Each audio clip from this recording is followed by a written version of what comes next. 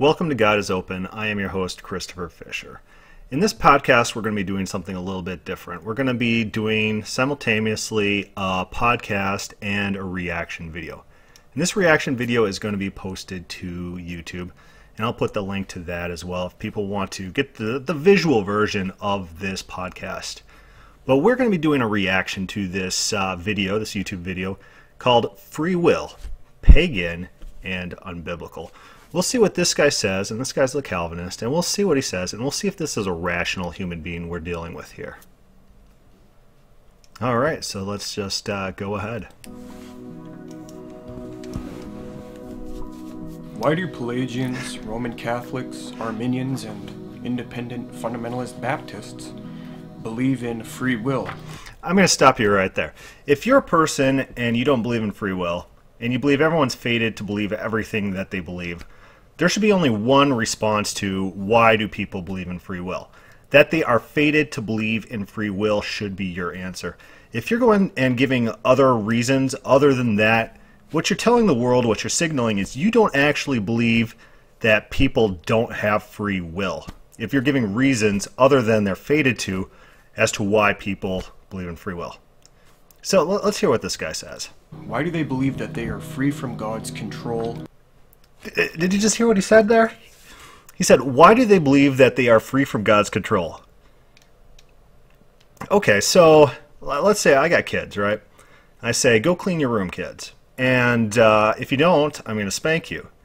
They're not free from my control. But uh, do they have free will? Are they now robots just because I exercise a little bit of authority over them? This guy doesn't seem to have thought very deeply at all about what it means to have free will. Exercising authority over someone, even like my employer, they say, I'll give you money to go do a job because I need money to survive and eat food and take care of my family. That doesn't mean now I'm devoid of free will.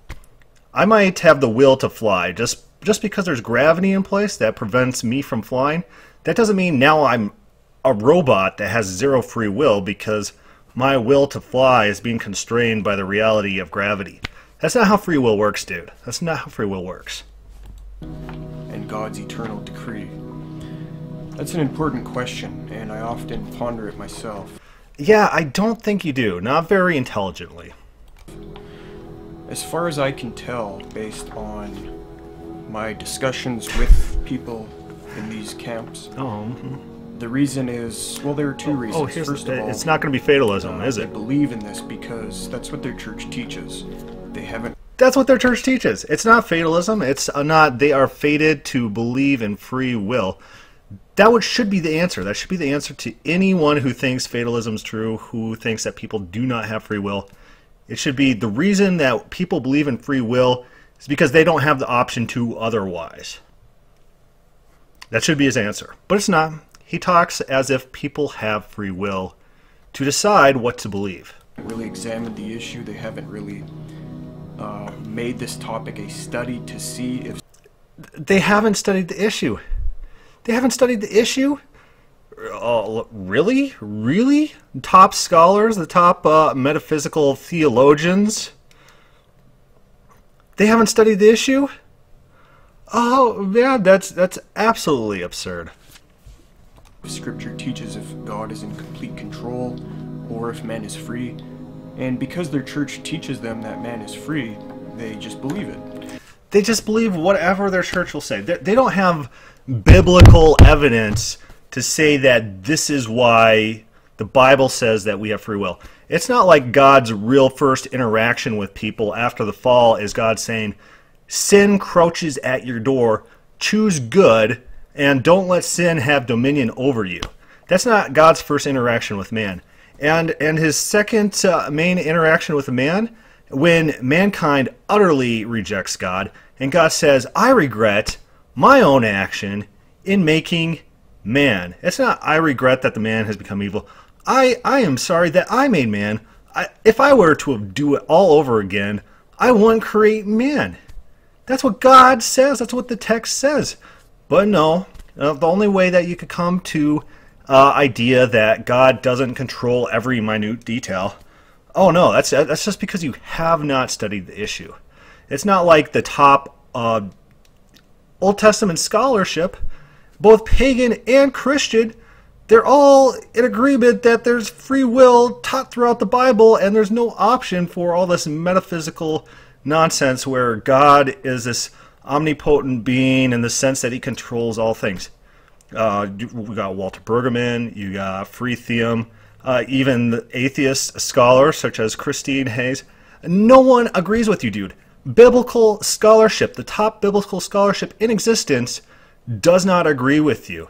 It might have something to do with the very plot of the Bible. The very plot of the Bible is mankind rejecting God. God does everything he can to reach man, and they continually reject him. And God gets so frustrated at one point, he says, What more could I have done to reach you? What more? I'm out of options. I've exhausted all my options. I still can't reach you guys. You guys are just so stubborn. But no, Bible doesn't teach free will. Oh no, anyone who believes that, they're just they're just not trying. They're they just don't understand the Bible. That's uh, fideism. However, there's another uh, group of people in these Yeah. camps. And these are people who have seen the evidence that Scripture is very clear that God is God. He's in complete sovereignty.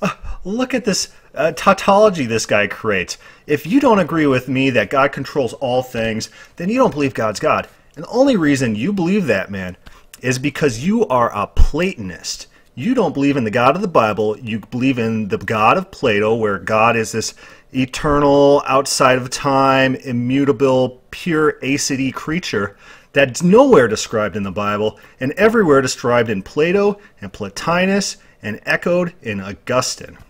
And and this is not like I'm just claiming you are based off of pagans, like you're claiming that free will advocates are based off pagans. No, you're not you're not going to go through the and show where the beliefs have been derived and, and the evolution of infiltration into the church. You're not going to do that. But we could do that. Augustine says the Bible is absurd.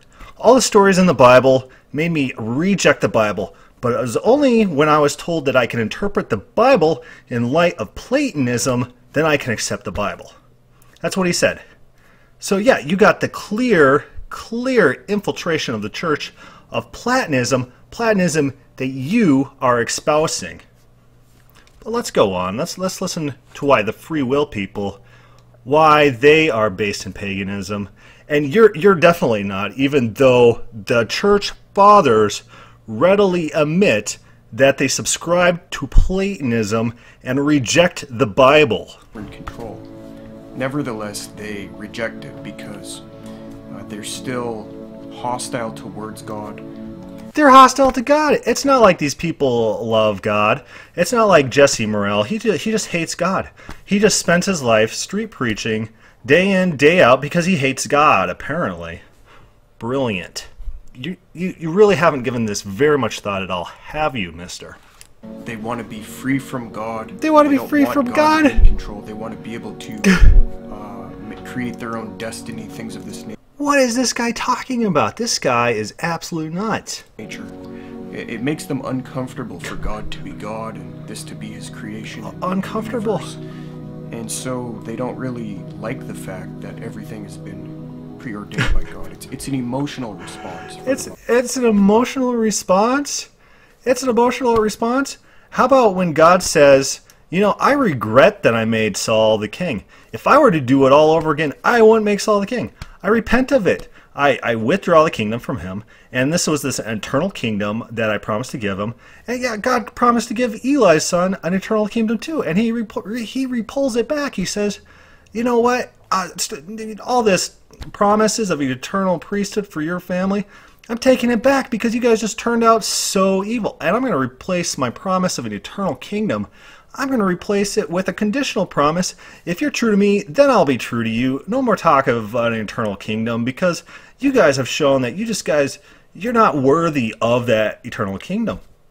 Entire Bible is structured like this. God's in heaven and he says angels gather around. Let's brainstorm a way to kill King Ahab. Okay, so everyone throw out some ideas and then we'll decide and I'll pick the best idea and we'll go with that idea. That's how God functions through the Bible.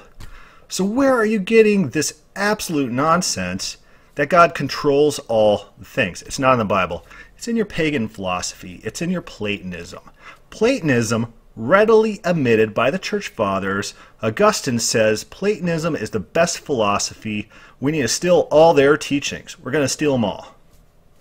And that's well attested, well attested in his confessions, in his other writings, by Augustinian scholars as well.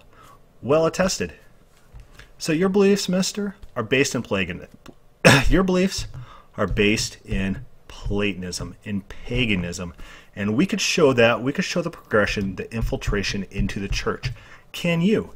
Can you? Is this video going to prove anything like that? Most part. But in this video, I want to submit that the idea that we are free, we're autonomous, um, what we do hasn't been preordained, these ideas are not Christian. Oh, They're not not, in Christian. the Bible anywhere. They're not in the Bible. It's not the entire story of the Bible. Mankind rejecting God and God having to come up with contingency plans in order to reach man, and man continually rejecting God in spite of God's every effort to reach them. That's not the plot of the Bible. Yeah, it's, it's just not in the Bible. Free will, it's not in the Bible. In fact, they come from paganism, Greek paganism. Oh, are you going to prove this? In his book Love, Freedom, and Evil, mm-hmm. I'm Thaddeus sure that's a rational has book. shown that these beliefs originate with the pagan philosophers. And what he does is he compares the teachings of He, these he pagans showed it that it originates with them. theologians. Free will apparently did not exist until the Greek philosophers. Brilliant. That's what you think. Who teach free will. Let me give some examples. He notes that the pagan Aristotle wrote, The stick moves and the stone is moved by Uh, so now he's he's quoting pagans. Okay, let's see what he does with these quotes. Um, are you going to show the Christians saying, "Oh yeah, Aristotle is correct, the free will is correct, and we need to impose this on the Bible and reject what the Bible says"? No, because because Augustine did that with Platonism, the Platonism that you believe in. But yeah, let's hear let's let's hear the pagan origins of free will. by the hand, which is again moved by the man. In the man, however, we have reached a mover that is not so in virtue of being moved by something else.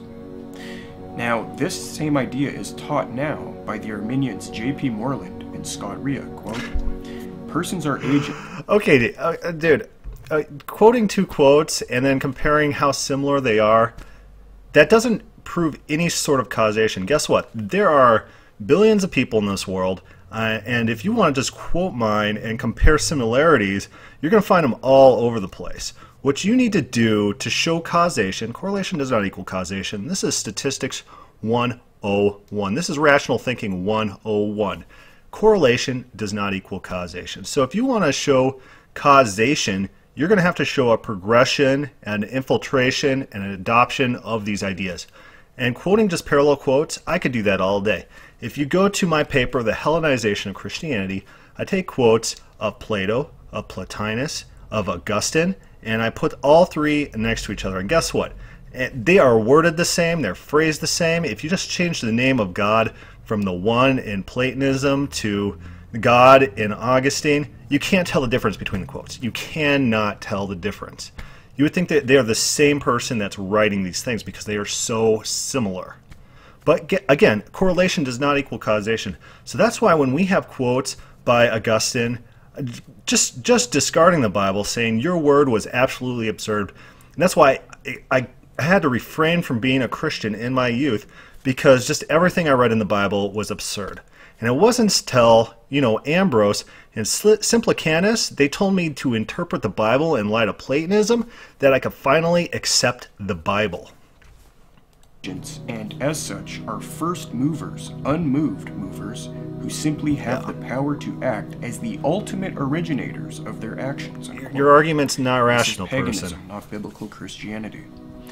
Aristotle also wrote, When acting is up to us, so is not acting, and when no is up to us, so is yes. This is taught by the Arminian Norman Geisler, quote, The Arminian Norman Geisler, the Norman Geisler who claims to be a Calvinist, who wrote a book literally on the nature and character of God against open theism, in which he describes God through all the Platonic attributes, uh, the pure actuality, the simplicity, immutability, and impassibility. That Norman Geisler is an Arminian. Brilliant. Are, are, brilliant. Minimally, free will is the ability to do otherwise. Mm-hmm. Again, Aristotle wrote, The Calvinist- "Hence, Calvinist when Norman it is fine is up to us, then not acting when it is shameful is also up to us. Likewise, the open theist Gregory Boyd teaches, quote, uh, Okay, guy, do you think that Gregory Boyd is reading all these Greek philosophers and incorporating their theology into his teaching? Is, is that your claim in this video? Because that's mental. That is mental. So, unless you're going to show any type of causation, unless you think that Norman Geisler, who, who you claim is Arminian, who is absolutely not Arminian, unless you think that he's he's mining the works of these ancient pagans who affirmed free will and just incorporating that into his belief system, you're not showing at all how free will is pagan rather than the more rational position that it's the default understanding throughout history of how the world works.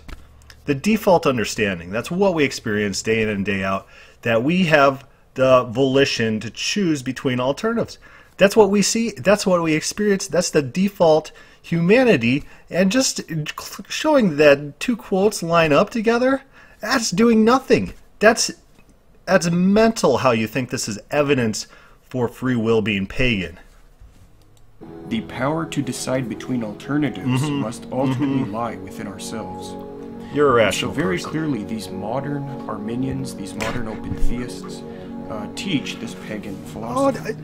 uh, absolutely, you absolutely proved it. That wasn't just a total logical fallacy across the board and irrational thinking. Aristotle also wrote, "Praise and blame arise upon such as are Oh, I know that- In other words, I know that I always turn to Aristotle to form theology because I love reading Aristotle and taking his theology and adding it to my Christianity. Yeah, brilliant, brilliant. people can't be responsible unless they're free. Uh, Norman Geisler, the modern Arminian, teaches the same thing. Quote, The Arminian, he must be the twin of Norman Geisler, the modern Calvinist. But uh, Praise and blame make no real sense unless those praised and blamed were free to do otherwise. The pagan Epicurus wrote, The prudent Oh, person thinks that with us lies the chief power in determining events. That which is in our control is That's exactly that's exactly what Norman Geisler did. He turned to Epicurus, and then he quoted him verbatim, and incorporated this quote into his philosophy. Brilliant. subject to no master. Alvin Plantinga teaches the same thing. A person is free only if no causal laws and antecedent conditions determine either that he performs A or that he mm-hmm. refrains from doing Yeah. so. I'm sure anyone knows who that Pagan guy is. Epictetus wrote, Zeus gave you this faculty of impulse to act and not act, of will to get and will to avoid. Norman Geisler teaches the same thing, quote, One of the things God has given his good Is this Calvinist Norman Geisler or his twin brother, the Arminian Norman Geisler? creatures was a good power called free will. Lastly, the pagan Cicero taught, The gods only give us the mere faculty of oh, reason. If we have any, the use or abuse of it depends entirely on ourselves. Uh, Let- Let's look at this. Do people hit like on this? Do they think this guy's like a rational human being? Uh, 5,600 views, 132 likes. 132 likes? How many irrational people can you muster together to watch one video? Norman Oh, Geisler teaches the same thing, quote, God made the fact of freedom. We are responsible for the acts of freedom. The fact of freedom is good, even though some Oh, acts of freedom are evil. God is is just brutal. of the former. This is just brutal. J. Williams concludes, Indeed, there is a deep resemblance between the notion of free will espoused by Uh, there's a ancient Greek resemblance. philosophers and the liber- You proved your case. You proved your case. Uh, free will is definitely pagan because there's a resemblance, and you could quote a bunch of quotes and add them next to each other, and then uh, claim that they're they're just pagan. Great. I could do the same thing with fatalism. All right, dude. Fatalism came from the Greeks, and and It's inherent in the Platonist system, in which God is outside of time, is this uh, absolute perfection, this absolute aseity that's immutable and impassible and not affected and not part of time.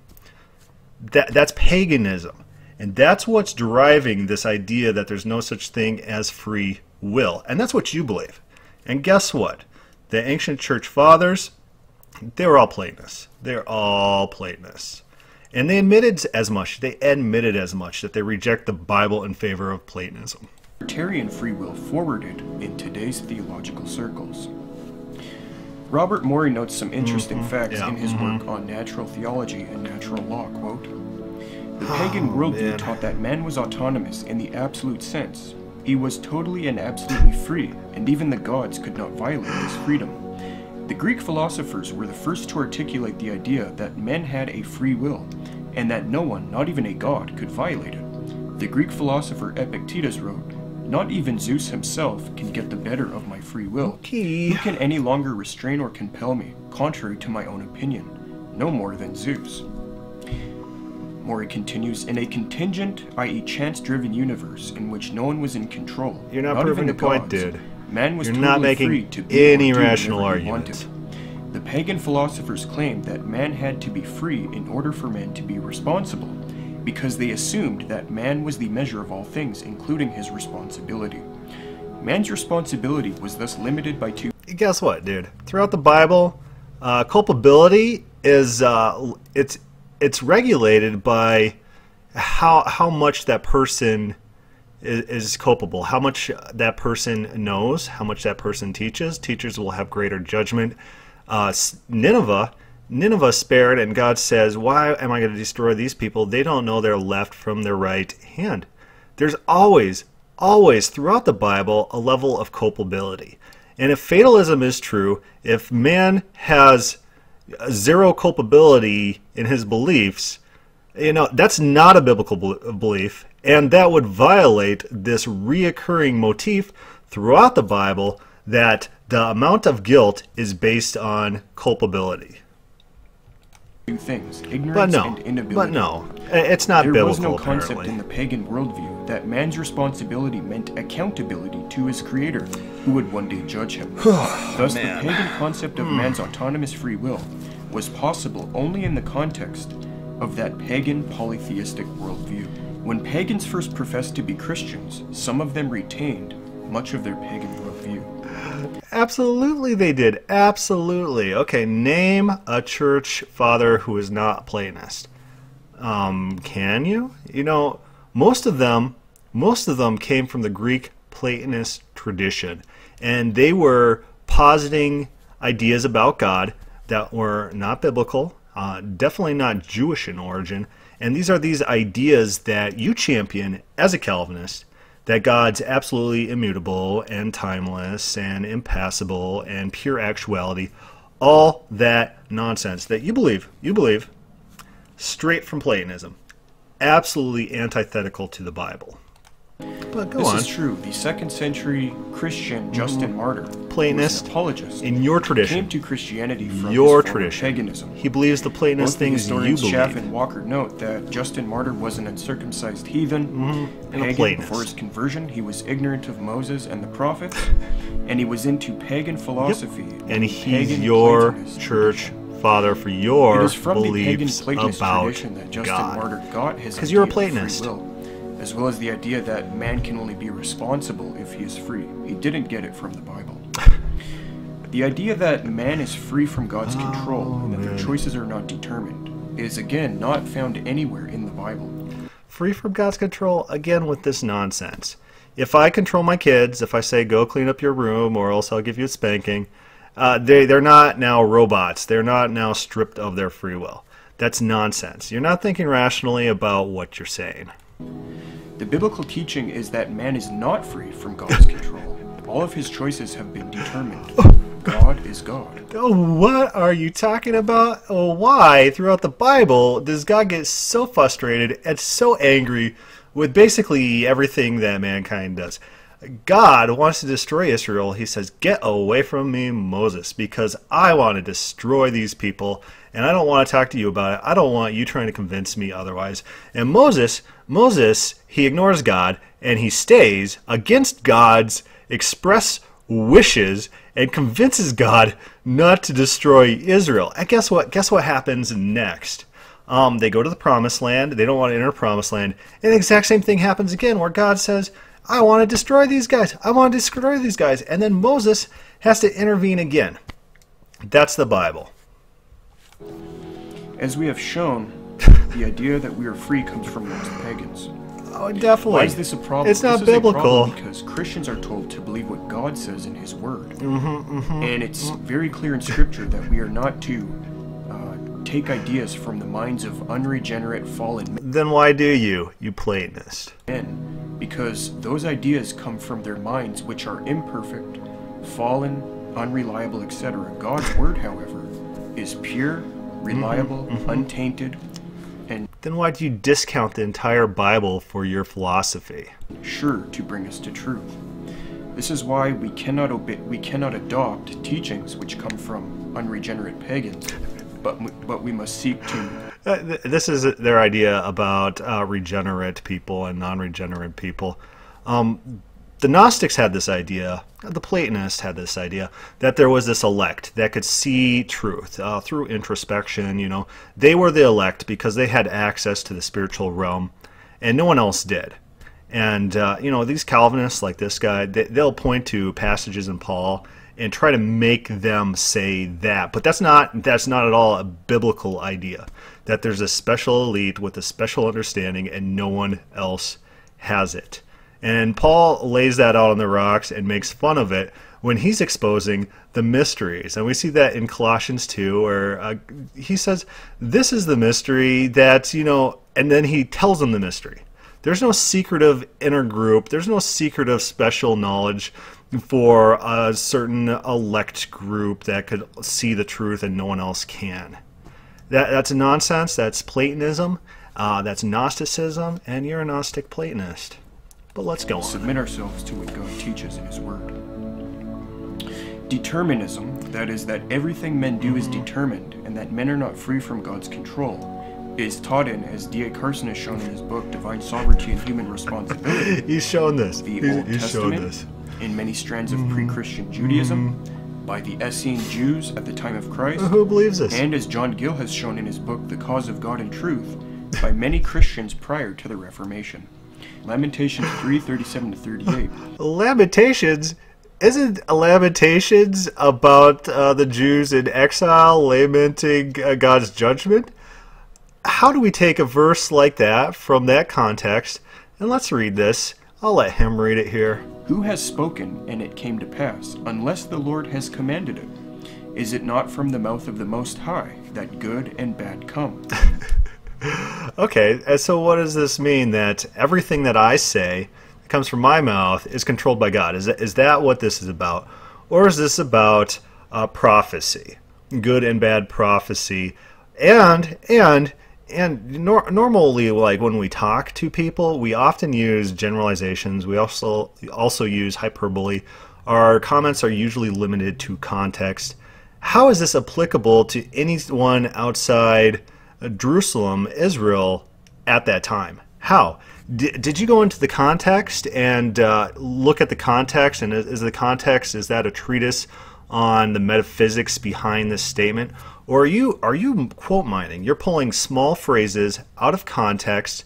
You're not trying to consider them with normal variations and, and normal human communication techniques, and then you're imposing your uh, philosophy, philosophy that's not found in the text, not described in the text. You won't find treatises on metaphysics in the Bible. You won't find treatises on God's meticulous control of all people's actions like you would in Augustine or or Calvin or you know Plotinus. You'll, you'll find a lot of metaphysical treatises in all these pagan inspired authors. You're not going to find it in the Bible because the Jewish God Yahweh Yahweh is not this pagan god of you know Pl- Plato Plato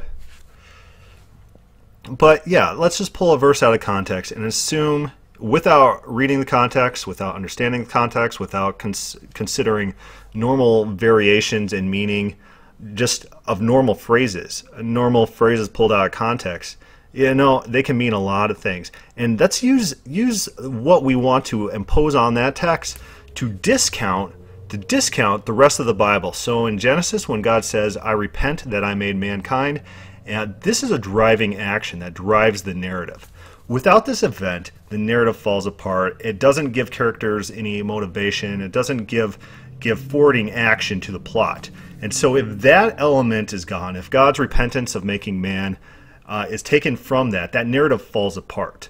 But the narrative, because the context defines, you know, phrases and verses, we understand that that's integral to the plot of the narrative. Longer narratives, this guy wants to discount in favor of chance phrases pulled out of context. That's not biblical theology. You are not a biblical theologian. Isaiah 46:10, declaring the end from the beginning, and from the things past which were not done, saying, Oh, My purpose shall stand, and I will do all my pleasure. Okay, this is this is funny. This this guy in this video is trying to prove that God controls all things.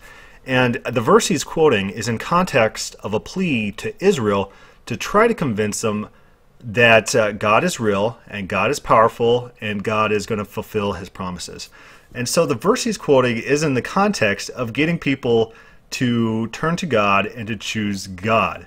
The free will is assumed here. And what is this verse saying? And we got a whole podcast on Isaiah. The context, what it actually means, it's it's a power statement about God. God says, I want to do something and then I will do it. And that's what it means from by declaring the beginning from the end. He says, I will lead you into captivity and then he does it. He says, I will free you from captivity and then he does it. These are power claims and the the the default assumption behind all of this is that this is not God's normal actions. Elsewhere in the Bible it says he doesn't do stuff without proclaiming it. It's not like God proclaims everything. There are specific events, power events, that are meant and documented as such to prove God's power, and this is one of them. So this guy wants to pull this little phrase out of context. He's going to try to force it into his theology. He's going to ignore the context. He's not going to understand in what context it is said, for what purpose, and how it interacts with the rest of the text. No, it's got to be your nonsense uh, Platonism that you want to impose on the text. Brilliant. Second Chronicles 26. And said, O Jehovah, the God of our fathers, Are you not God in heaven? And do you rule over the kingdoms of the nations? And is there power and might in your hand, so that none is able to withstand you? Proverbs 16. A general power verse about God. No one denies that God has power. Well, maybe maybe like the process theist or something like that. But yeah, God has power. And in the Bible, you see the Ascension Psalm where God says, you know what? All you other gods, and God's in this divine courtroom scene, and he says, all you other gods, you guys have been delinquent in executing justice. So here's what I'm going to do I'm going to reclaim power for myself. And yeah, God can do that because he, no one could oppose him. No one could beat God in a power contest. And, and that's the point of this verse and a lot of verses that God is powerful. This guy wants to make the irrational jump that this means that God controls every minutia to ever happen. Any flicker of the hand, any blink of the eye, that's God controlling it. In this guy's mind, this guy thinks that these verses support that absolute asinine uh, understanding. They just don't. They just don't. Not in context, not what they're being used for. And they could better be understood, more naturally understood in a more open theistic type context. Because all the writers of the Bible, they were all open theists, and they all write like that. And they have these narratives about God in which God's regretting his own actions, God's uh, changing his mind, God's responding to events as they happen. And without those events, without God's uh, state of mind, without God's actions, those narratives crumble. And so what Calvin says is he says, God speaks to us like baby talk. So what Calvin needs to do is invent a mechanism to ignore the Bible because the Bible is very antithetical to Calvinism. So you need a mechanism to just discount all the text and say the text doesn't mean what it says and guess what? I got this philosophy that I'm importing onto that text and that's what I'm going to believe instead of the text. That's what Calvin does. That's what this author does of this video. They discount the text. They discount the narratives, the narratives that give us better contextual understanding of ancient Israel's ideas about Yahweh. But this guy, he doesn't care. He's got his proof text that he just assumes his absolute asinine uh, theology on top of. 1933. The lot is cast into the lap, but the whole disposing of it is from Jehovah. Yeah, that proverbs aren't just general rules of thumbs, general statements. Yeah, th- this is like an absolute that God uh, every roll of the dice. So, so if I'm playing um, some sort of Dungeons and Dragons game, uh, God didn't want me to roll that missile. He wanted me to roll a one. Brilliant, brilliant. That's what this this is what this author of this proverb, what he's trying to say. 1 Chronicles 29:12. And the riches and the honor are from you, and you reign over all. And in your hand is power and might, and it is in your hand to make great give strength to all. Yeah, God's powerful. Acts 17:26. And he has made all the nations of men of one blood to dwell on all the face of the earth, ordaining four appointed seasons and boundaries for their dwelling. Yeah, God's powerful. You're the verses you're quoting do not prove what you're trying to prove. Uh, You're you're proof texting in a very uh, deceitful manner, in a very um, asinine manner. You're just grabbing verses that have general power statements and pretending they mean something they're absolutely not about. Normal reading comprehension will not get you from those verses to what you're trying to prove that God controls every action of every person. Normal reading comprehension, there is no bridge between those views. You have to literally discount the text, the text that assumes otherwise, and impose upon it your own theology. How do you use these as proof texts? You are not a biblical scholar. Deuteronomy 32:39. See now that I, I am he, and there is no God with me. I kill and I make alive. Yeah, God kills people and he makes people alive. alive. I wound and I heal, and there is no deliverer out of my hand. Exodus 4:11. There's no deliverer out of his hand in, in, in every case because in the Bible sometimes God says, you know what, you guys are thwarting me. I wanted to kill this guy, but uh, you guys are opposing that. You know, I'll, I'll post the verse, but uh, you know, there, there's counter examples, specific counter examples throughout the Bible of any of this guy's points. And so normal reading comprehension allows statements to be general. Like if Bob's a nice guy, what that means is not that he's never ever done something mean ever in the world. That's not what it means. It means generally, generally this is true that Bob is a nice guy. And so when God says, you know, I control nations, uh, generally that's true. Uh, sometimes these nations reject God. And throughout the Bible, you see all sorts of nations rejecting God and God pronouncing punishment on those nations. Even when God uses the Assyrians to punish the Jews, guess what? The Jews were rebelling against God. The Jews were rebelling against God, and so what God had to do was devise a punishment against them, and He used an enemy. uh, He used an enemy of Him, and got them to attack His people who were rebelling against Him. So, so does that sound like God's controlling every action of every person?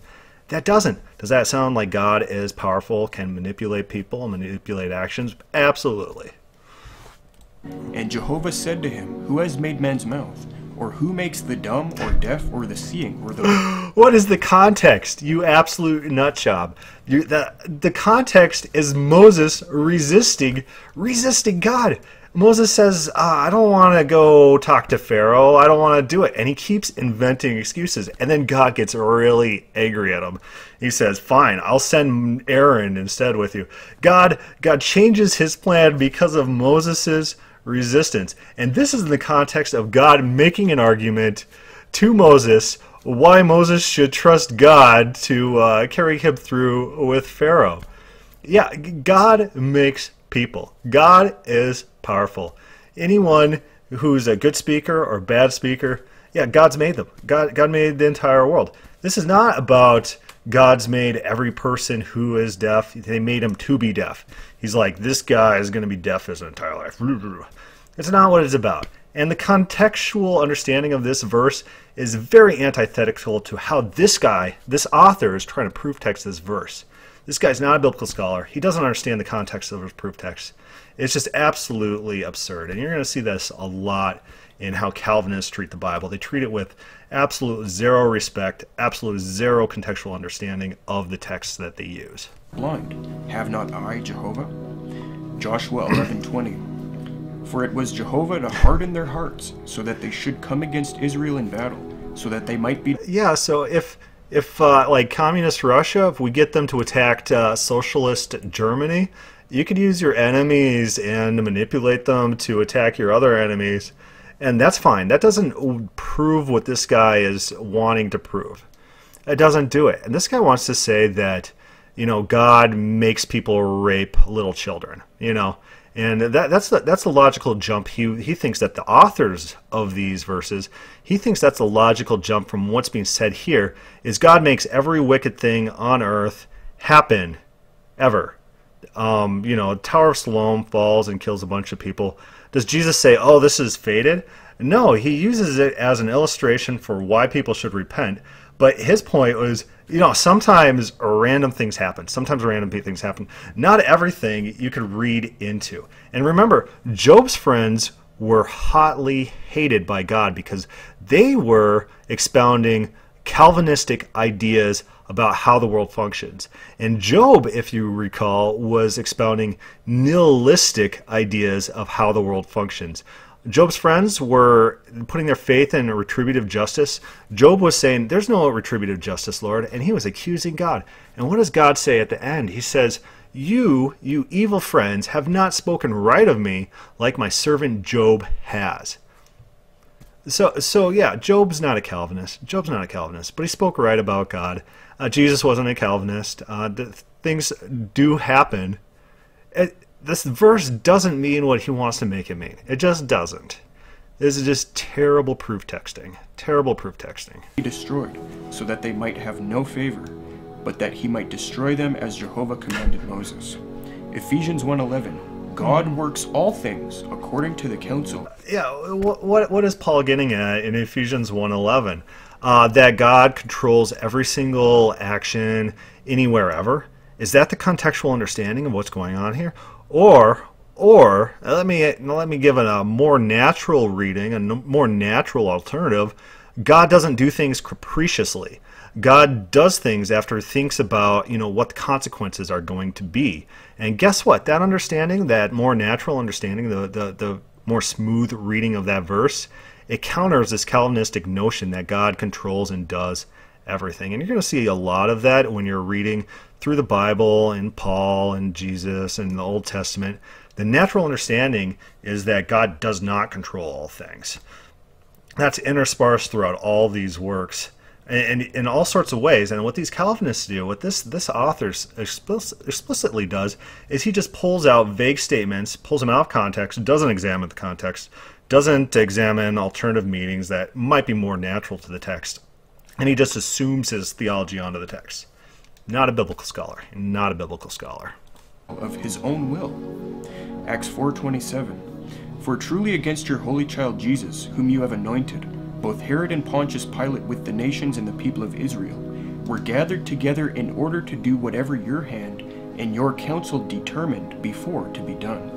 Yeah, so what's that in reference to? Is it in reference to uh, Jesus uh, being a sacrifice, God using his enemies to accomplish his will? Yeah, it's, it's, it's not a problem for free will advocates. And and every time that the Bible talks about God manipulating events or doing events, the natural assumption behind these texts is that it's not always, you know, that it's an exception to the norm. That God has to act in order to get events to turn out how he wants. And it's not it's not the natural understanding. It's not. Proverbs 20:24 20, Man's steps are of Jehovah. How can man then understand his own way? Another proverb. Proverbs are general rules of thumb, and they're they're definitely not absolute. They're just proverbs. They're sayings that you know are generally true. And some proverbs they contradict each other because they're proverbs. They're proverbs. Jeremiah 10:23 O Jehovah, I know that the way of man does not belong to man it is not in man who walks to direct his steps.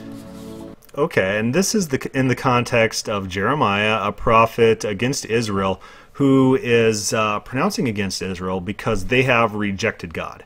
And uh, in, within Jeremiah, you know, you got the parable of the potter and the clay, and the clay doesn't turn out how the potter wanted and was expecting that clay to turn out. And so, what does God say is the understanding of this parable? What does God say is the interpretation of this parable? Is that God might say something, God might think something, uh, but if people change, God will not do what he said he would do or not do what he thought he would do. And he uses both those words, and it's very telling about the theology of Jeremiah.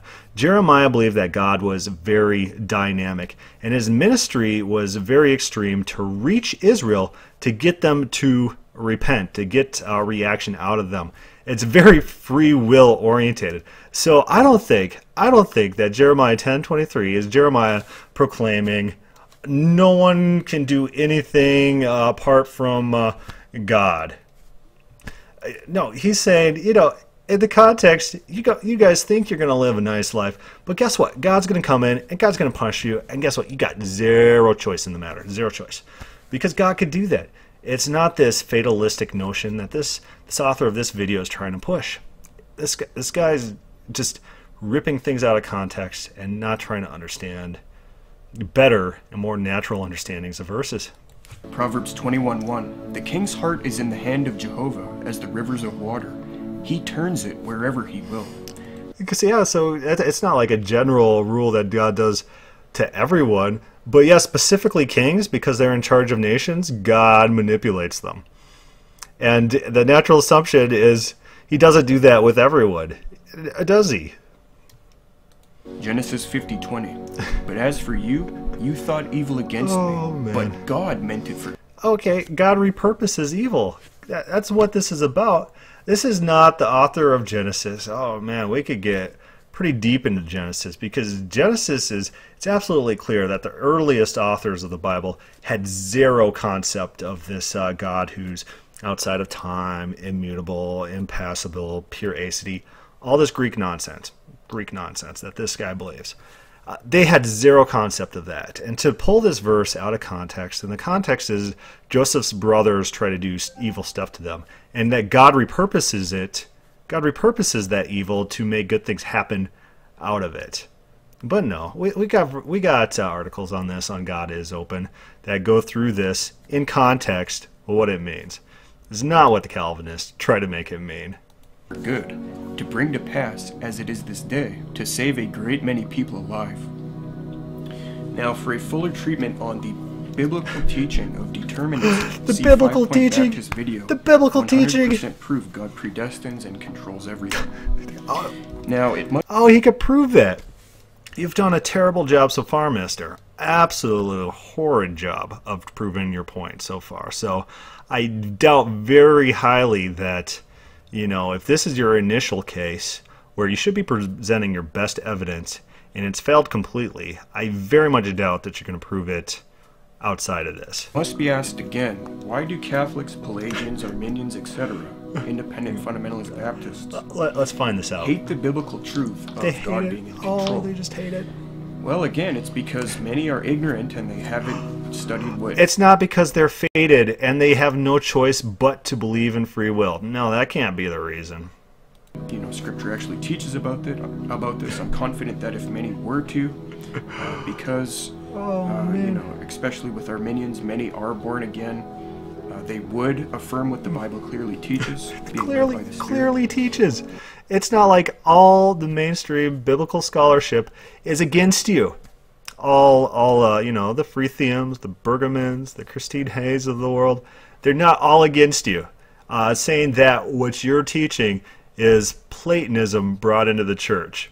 That's not the common scholarly teaching about um, fatalism.